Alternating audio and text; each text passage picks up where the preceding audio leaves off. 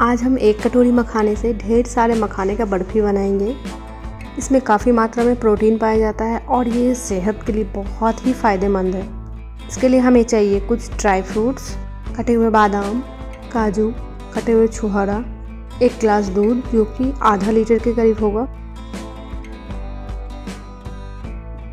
सबसे पहले एक कढ़ाई में हम डालेंगे दूध। साथ में मखान ऐड करेंगे। और जो मैंने ड्राई फ्रूट्स कट करके रखा था, वो हम ऐड कर देंगे।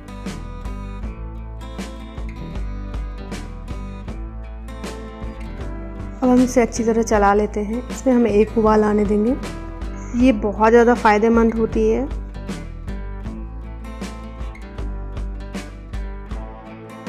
अब हम इसे ठंडा कर लेंगे।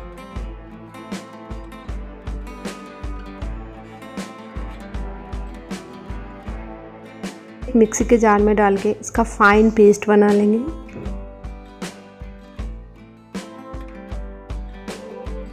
आइए अब मैं इसे खोल के दिखाती हूँ।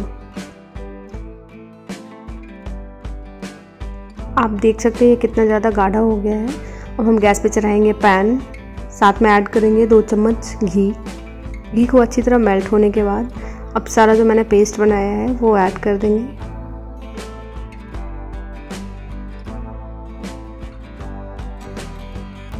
अब इसे अच्छी तरह मिक्स कर लेंगे। अब हमें मीडियम टू लो फ्लेम पे इसे अच्छी तरह पकाना है और इसे हम ड्राई करेंगे।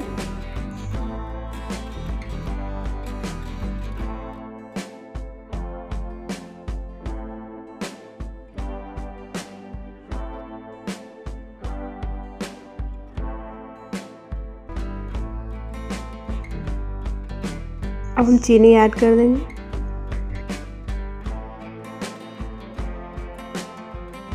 इस टाइम पे भी खाने पे ये बहुत ही टेस्टी लगता है।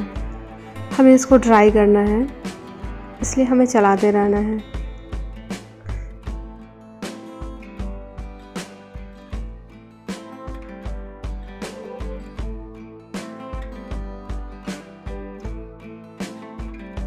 अब हम एक इस तरह का प्लेट लेंगे। इसमें थोड़ा सा घी लगा के इसे हम अच्छी तरह ग्रीस कर लेंगे।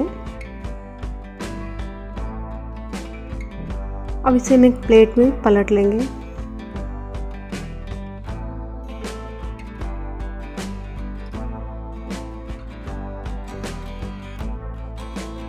एक स्पून के पीछे साइड में थोड़ा सा घी लगा के इसे हम फैलाएँगे, जिससे कि ये चिपकेगा नहीं।